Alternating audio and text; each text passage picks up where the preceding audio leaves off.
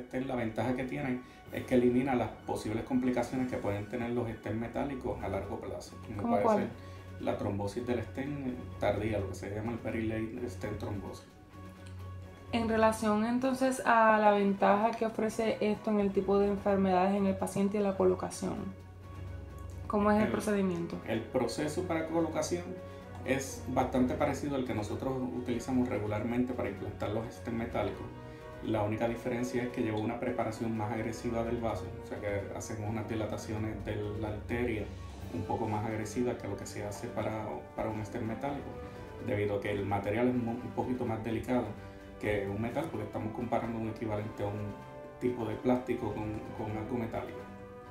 Aparte de eso, eh, tiene una postdilatación eh, después que implantamos este que es bastante para mantener pues, la forma del vaso y como que incrustarlo bastante bien dentro de las paredes del.